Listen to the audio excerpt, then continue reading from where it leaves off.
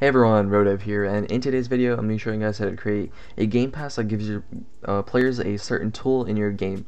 So that can be a gun, a bat, um, you know, a water balloon, really anything, and that tool can be given to the players if they own the game pass. And the players will keep this tool after they die. So let's get right into it. So if you don't have a game pass already, what we can do is uh, click on the iCard in the top right of the video right now, and with that iCard, you can go ahead and make your own Game Pass and come back to this video. From here, once you have your Game Pass made, you can actually click on it and you'll be taken to the uh, Game Pass page. From there, you want to go to the top and double click these numbers right here and copy them. Once you have them copied, you can go to Roblox Studio. Alright guys, once you are in Roblox Studio, the first thing you want to do is uh, put your tool in server storage.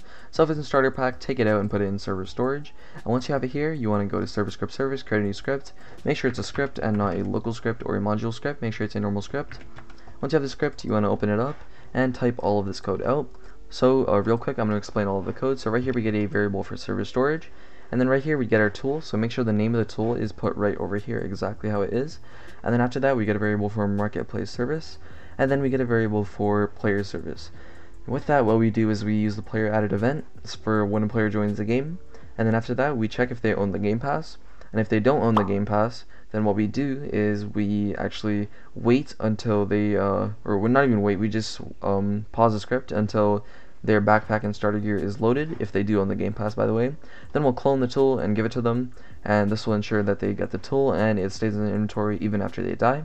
And uh, real quick, I'm going to be showing you guys how to make it so if they don't own the tool, we can actually prompt them to buy it. So down here what we can do is MPS colon prompt uh, product purchase or prompt Game Pass purchase and then what we can do is pass in the player instance and then paste in your Game Pass ID and right here if they don't own the tool it's going to prompt on their screen to purchase the Game Pass.